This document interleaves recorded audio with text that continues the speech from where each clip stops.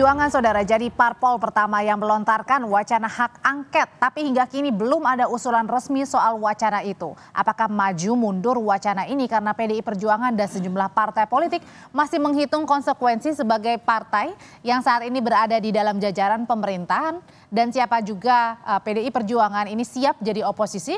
Kita bahas sore ini bersama dengan Ciko Hakim, politisi PDI Perjuangan. Melki Lakalena, anggota DPR RI, fraksi Partai Golkar, dan Aditya Perdana, Direktur Algoritma Research and Consulting. Selamat sore Bapak-Bapak semuanya.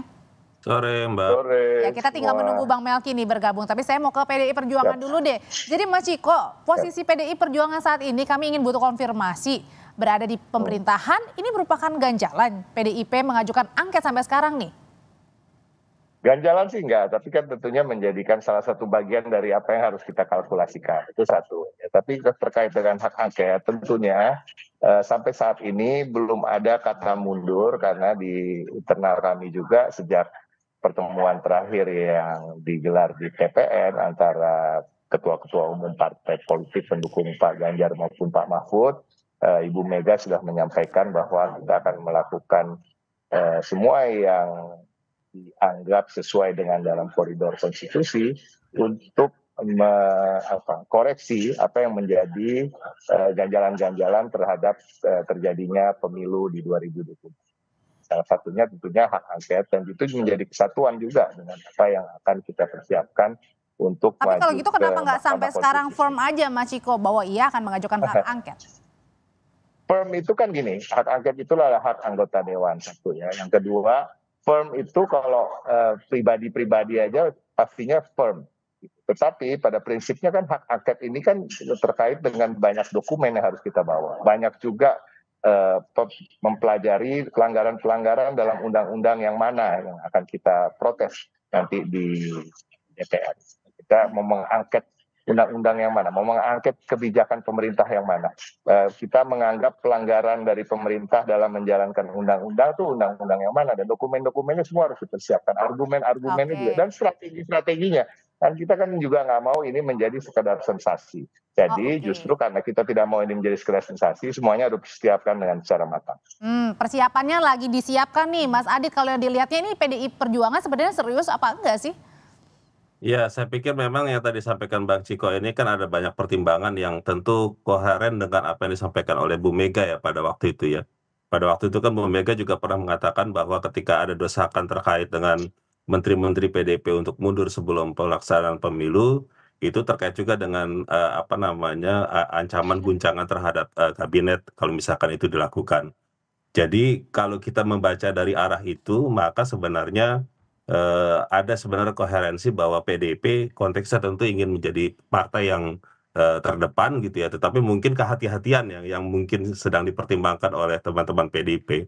Jadi bisa dimaklumi ya, karena tadi yang sudah dikatakan bahwa PDIP juga menjadi bagian dari. Berarti dilihatnya lebih uh, kepada pertimbangan karena masih ada menteri-menteri di kabinetnya uh, Pak Jokowi sekarang. Ya, tapi menurut saya yang menarik juga adalah uh, seharusnya dalam konteks ke depan ini menjadi uh, pembelajaran yang penting. Kalau misalkan PDIP ini ingin menjadi lokomotif oposisi, hmm. seharusnya langkah-langkah inisiatif dan utamanya itu menjadi sesuatu yang bisa dimulai dari hari ini gitu ya. Sehingga kemudian kita akan juga menunggu-nunggu bagaimana nanti PDIP bisa menjadi sebuah uh, yang terdepan gitu ya dalam konteks membangun uh, uh, oposisi ke uh, di setelah pasca pemilu 2024. Hmm, termasuk jadi juga jadi menjadi oposisi gitu ya. Kalau gitu ya. uh, Mas Adi saya mau tanya ini ke Bang Melki yang sudah bergabung sore Bang Melki. Masih di mute Bang. Selamat bang, sore, selamat sore. Ya, oke. Okay. Kalau PDI Perjuangan katanya nggak alot nih, tapi memang lagi dipersiapkan aja uh, untuk pengajuan hak angket ya. Dari Partai Golkar sendiri inginnya menarik PDI Perjuangan ini nggak mengajukan hak angket kah? Atau silakan aja? Uh, pertama begini, hak angket itu kan uh, adalah hak institusional DPR RI yang akan uh, dipakai apabila mendapatkan persetujuan selama melalui berbagai mekanisme yang berlaku. Dan dalam persyaratan hak, hak angket ini ternyata kan tidak harus semua fraksi itu menyetujui ya kan ada persyaratannya itu kan angkanya terlalu apa cukup minimal untuk bisa diajukan. Hmm. Tapi yang pasti adalah Partai Golkar sendiri sesuai dengan uh, kondisi yang kita lihat saat ini itu uh, melihat bahwa persoalan hak angket ini bisa kita tahan dulu sebentar, jangan digunakan karena mekanisme dan tahapan pemilu lagi berjalan satu ya. Jadi biarkan proses tahapan ini berjalan dulu sampai selesai di KPU dan apabila ada masalah terkait dengan pelaksanaan pemilu ini kan kita sudah punya ruang konstitusional menurut undang-undang adanya di MK. Nah, kalau saya boleh usul nih bagi teman-teman yang ingin menggunakan anak angket ini, sebaiknya ini dipakai atau digunakan setelah semua tahapan pemilu yang di di apa di aturan undang-undang kepemiluan ini bisa kita laksanakan dulu gitu sampai di MK gitu. Nah, kalau itu bisa kita lakukan dengan baik mestinya hak angket ini bisa kita tunda dulu sampai dengan semua tahapan ini selesai. Karena toh juga nanti basis hukum atau basis urusan politik dalam hak angket ini juga tuh akan okay. melihat bagaimana proses yang berlangsung di mulai dari TPS sampai dengan di KPU RI dan maupun sampai dengan di MK gitu. Jadi hmm. uh, tentu hak ini adalah hak dari masing-masing anggota dan hak masing-masing fraksi atau partai politik untuk digunakan. Tapi kalau boleh kami usulkan, sebaiknya ini ditahan dulu untuk kita gunakan nanti misalnya itu okay. pasca semua tahapan pemilu ini kita selenggarakan sampai di MK misalnya. Oke, okay, kalau gitu pertanyaan selanjutnya nanti akan dijawab bapak-bapak terutama sama Mas Ciko. Apakah uh, belum formnya sekali lagi ya 100% begitu katanya uh, ini memang lagi dipersiapkan tapi sampai menuju ke 100% apakah ada pertimbangan-pertimbangan tersendiri untuk mengajukan hak angket karena beririsan dengan nanti kalau PDI Perjuangan ini menjadi oposisi. Usai jeda nanti kita akan kembali hanya di Kompas Petang tetaplah bersama kami. Ada partai yang didirikan atau mau jadi oposisi. Oposisi bagi partai ada kecelakaan Sekali lagi, tidak ada partai yang didirikan atau mau jadi oposisi. Oposisi bagi partai ada kecelakaan. Jadi, uh, uh, karena itu banyak yang pragmatis. Sebelum sering orang bertanya, uh, bagaimana kita menjalin yang dia demokrasi yang jangan mencoba sekarang ini, tapi demokrasi yang punya makna, yang punya cara yang baik. Dengan berat jadi oposisi kata Pak JK, Mas Ciko jangan-jangan selaras nih dengan uh, obrolan bersama dengan Mas Hendrawan bahwa uh, saat uh ini menghitungnya tidak mudah mengambil keputusan ya itu mungkin jangan-jangan juga berhubungan dengan nanti kalau sudah hak angket pasti sudah siap juga jadi oposisi.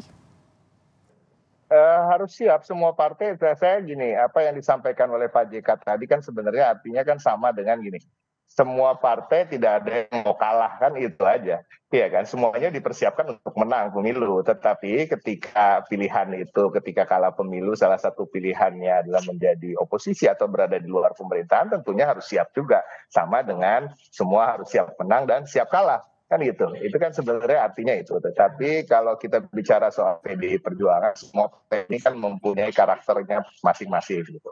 Dan semua itu karakter itu bisa diperdebatkan kebenarannya atau kebaikannya semuanya debatable semuanya ini kan masalah persepsi aja. Tetapi tentunya kalau kita melihat dari sejarahnya karakter PDI Perjuangan ini lebih sering bahkan di era reformasi ini kalau kalah dalam pilpresnya dan tentunya uh, sangat siap untuk berada di luar pemerintahan dan uh, tentunya se seperti kita ketahui dalam demokrasi ini kan juga nggak bagus juga kalau semuanya berada di dalam pemerintahan.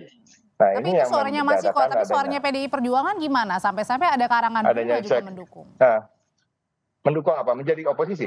Iya, ada banyak karangan oh, kan iya, di depan betul. kantor DPP. Iya, iya. Ini kan artinya kan saya juga sedang menyampaikan bahwa uh, ke, ke kecenderungan untuk menjadi oposisi gitu. Hmm. Jadi ada prinsipnya memang di akar rumput uh, sampai hari ini uh, konstituen kita memang karena memang itu tadi setiap partai kan punya karakter. Nah, karakternya PD Perjuangan dan konstituennya itu ya kalau kalah ya kita berada di luar pemerintahan menjadi uh, uh, salah satu yang bersifatnya fungsinya kontrol gitu. Checks and balances ini kan harus jalan dalam demokrasi. Jadi bukan hal yang apa ya canggung bagi kami untuk menjadi oposisi gitu. Hmm, Oke, okay. kalau dari Mas Adit sendiri ya. uh, sebenarnya apa sih hitung-hitungannya Mas sampai banyak nih masyarakat mungkin gemes ya sampai nurunin uh, papan baliho ke depan kantor DPP untuk form ayo dong hak angket dan oposisi. Ya, karena memang kan kalau kita perhatikan PDIP eh, apa belum punya sesuatu yang eh, firm yang tadi dikatakan beberapa kali ya eh, terkait dengan sikap oposisinya itu. Meskipun Mas Ciko juga eh, dan beberapa pihak di PDIP sudah menyatakan itu. Tetapi memang nanti butuh ada satu kepastian dari Bu Mega ya untuk mengatakan bahwa nanti ya. setelah mungkin setelah tanggal 20 Maret hasil penghitungan suara itu selesai, ada sikap resmi yang nanti akan disampaikan Ini memang ditunggu Mbak, ditunggu oleh masyarakat Jadi bagaimana masih kita wait akan and see gitu? Ya, karena saya pikir ini hal yang positif ya, bahwa kita juga terus harus mendorong adanya eee, apa namanya, kekuatan politik yang oposisi yang yang penting di parlemen. Kalau masyarakat sipil, teman-teman aktivis dan segala macam kan itu di luar parlemen. Kalau di dalam parlemen itu menjadi sangat penting untuk bisa membangun check and balances di dalam pembuatan kebijakan gitu ya. Kita sudah punya pengalaman ketika masa pemerintahan Pak Jokowi ini memang kan sangat kuat sekali gitu ya, sampai dominan lebih dari sekitar 90% sampai hari ini gitu ya. Tapi kalau nanti teman-teman PDIP, Nasdem, sebagainya itu, eee, apa namanya, membuat oposisi itu akan menjadi sesuatu yang menarik gitu ya, dan dinamikanya akan jadi eee, semakin, apa namanya, baik gitu ya buat demokrasi kita. Tetapi me menurut saya ini juga masih belum belum fix ya, karena saya yakin, eee, dalam beberapa bulan ke depan juga akan ada lobby-lobby politik yang yang akan terus terjadi gitu ya. Jadi dan itu masih akan bisa berubah juga ya, eee, apa namanya, dugaan saya. Hmm, kalau gitu lobby-lobby politiknya juga lagi dijalankan nggak dari Partai Golkar ke PDI Perjuangan supaya nggak ngajuin hak angket, supaya bersama pemerintah aja nanti di saat, eee, Prabowo dan Gibran memerintah, kalau nanti sudah disahkan? Bang Mel. Kalau kita kalau kita di parlemen sih kan karena sering ketemu ya di gedung parlemen, kemarin juga pada saat pembukaan masa sidang, pembicaraan dengan teman-teman PDIP sih kita laksa apa, kita lakukan dengan biasa ya, dengan kekasan kami di Senayan lah. Kalau di Senayan itu kami tidak punya, eee, fraksi masing-masing ketika kepentingan bangsa negara itu kita, eee, apa namanya, kita berikan gitu ya. Jadi diskusi santai sama teman-teman PDIP dan prinsipnya begini, kalau melihat, eee, dinamika kemarin di di masa persidangan awal itu di paripurna, bisa kita lihat bahwa wacana angket ini memang diberikan, tapi kan, menjadi sebuah kepastian kan tentu masih ada pembicaraan lebih lanjut. Kita lihat kemarin kan juga, eee, Ibu Ketua DPR, Ibu Puan juga tidak hadir, Pak Muhaimin juga tidak hadir, tentu di kalangan pimpinan DPR RI sendiri pasti akan ada pembicaraan di antara para pimpinan dulu. Tentu aspirasi dari para anggota akan, eee, berjalan tapi pasti akan di di apa, dibahas lanjut oleh para pimpinan fraksi dan pimpinan DPR RI. Termasuk Yang dari kedua Golkar yang kalau kalau kita bicara kalau bicara soal menyangkut, eee, oposisi, menurut saya begini ya, eee, sistem di Indonesia tidak mengenal kata oposisi. Saya perlu perlu luruskan dulu nih, bahwa ada penyeimbang ataupun kontrak kekuasaan di luar saya kira juga itu pasti tetap ada bagi yang di luar pemerintahan, tapi prinsipnya bahwa dengan pengalaman kita di era Pak Jokowi, Pak Prabowo kemarin, yang kalau kita lihat bahwa makin banyak pihak terlibat dalam pemerintahan dan juga makin kita berpikir tentang, eee, kepentingan bangsa negara ini di luar urusan, komposisi dan oposisi tadi itu, sebenarnya makin membuat kita lebih lebih kokoh dalam melangkah ke depan gitu. Saya tidak membayangkan pengalaman Covid kemarin, kalau andai kata Pak Prabowo di luar pemerintahan, menjadi oposisi yang, eee, diametral dengan Pak Jokowi, rasanya kita tidak secepat ini keluar dari, eee, masa Covid kemarin. Jadi mungkin belajar dari pengalaman kemarin ketika para pemimpin bangsa ini bisa duduk bersama, Jadi dengan kata lain mau merangkul semuanya untuk bersama di pemerintahan. Melki. kalau saya lihat dari sikapnya Pak Prabowo nampaknya beliau ingin seperti era Pak Jokowi itu sebanyak mungkin bisa terlibat bersama untuk Oke, mengurus mau Mas bangsa tuh? negara ini gitu. Mau nggak? Ya itu nanti kita dibicarakan di DPP PDI Perjuangan tentunya. Tetapi sebagai seorang yang kita saya di sini si, sikap saya pribadi ya, saya rasa sebuah bangsa ini yang begitu besar dan begitu perlu banyak apa namanya masukan-masukan dari berbagai eh, pihak itu sebaiknya juga dan kita untuk menjaga iklim demokrasi yang sehat tentunya sebagai baiknya ada penyeimbang yang cukup kuat di parlemen. Hmm. Jadi eh, Karena saya kalau rasa begini, kalau saya kembali lagi kepada eh, apa ya spirit Bung Karno ya. Bung Karno itu ketika membicarakan tentang dasar negara, beliau dengan sangat kuat mengatakan bahwa kita harus membangun bangsa negara ini dengan eh, skema gotong royong. Gotong royong itu artinya kita saling bahu membahu, berbagi Hmm. tugas, sinergi untuk membangun Bapak mengurus bangsa negara ini. Spiritnya kita ini kan negara kekeluargaan sebenarnya. Jadi maksudnya adalah kita ini bersama-sama ngurus negara ini seperti keluarga itu bersama-sama bareng-bareng lah gitu. Tidak dalam posisi saling saya, harus saya, saya eh, sepakat, apa, saya sepakat, saya sepakat, saya sepakat. Dan saya melihat juga gini ya, kalau kita mau bicara jujur aja, kita mau Oke. bicara secara apa objektif, apa yang terjadi kemarin pun ketika ada Demokrat dan PKS yang berada di luar uh, pemerintahan pun, saya rasa cukup sehat gitu. Mereka juga tidak begitu mengganggu dalam tanda kutip, Hmm, tapi ada suara-suara yang baik. cukup minor kira ketika pemerintah uh, diperlukan ada kontrol di situ. Tetapi kalau lebih kuat lagi sedikit lagi jumlahnya saya rasa akan lebih baik lagi. Tapi pada prinsipnya kan di luar pemerintahan seperti disampaikan Bang Melki tadi bukan oposisi kalau di Indonesia sifatnya. Ya, kita Oke. tetap menjaga marwah persatuan itu, tetapi tentunya kalau uh, akan lebih kuat lah uh, jalannya demokrasi kalau ada penyeimbang yang cukup kuat. Oke, kalau kita dari Itu, Mas itu pandangan pribadi saya. pandangan pribadi. Kalau gitu Mas uh, Adit yang dilihatnya nih setengahnya dari perbincangan kita selama 10 menit lebih ya. Ini ada masih tarik menarik juga jangan-jangan ini yang terjadi justru belum formnya hak angket kemudian juga jadi oposisi atau enggak jangan-jangan sebenarnya yang baik itu gimana sih apakah nanti pemerintahannya uh, Pak Prabowo ini harus sama juga dengan Pak Jokowi gitu dengan inginnya sih merangkul semuanya. Ya, saya pikir memang kan ke depan eh, kita juga perlu pemerintahan yang kuat. Itu satu hal. Yang kedua memang eh, tradisi yang tadi disampaikan oleh eh, Bang Ciko dan juga Bang Melki itu juga penting gitu ya bahwa menyeimbangkan kekuatan antara pemerintah, eh, koalisi pemerintahan dan juga di luar pemerintahan itu juga penting di dalam demokrasi.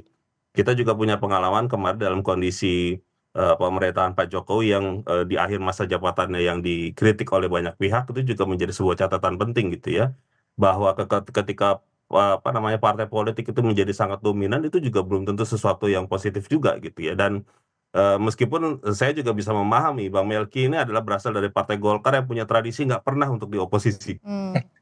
ya jadi Oke. memang kita harus bisa paham juga pandangannya bahwa kekeluargaan dan segala macam gitu ya tetapi menjadi bagian yang penting untuk bisa menguatkan eh, apa namanya mengkoordinasikan aspirasi dari luar pemerintahan itu juga menjadi bagian yang penting juga untuk persatuan dan kesatuan bukan hanya untuk segelintir partai politik. Jadi itu catatan Sebaiknya yang harus ada penting ya. oposisi atau penyeimbang gitu. Ya, saya saya mendorong Bang Ciko dan teman-teman PDP untuk menjadi inisiator itu.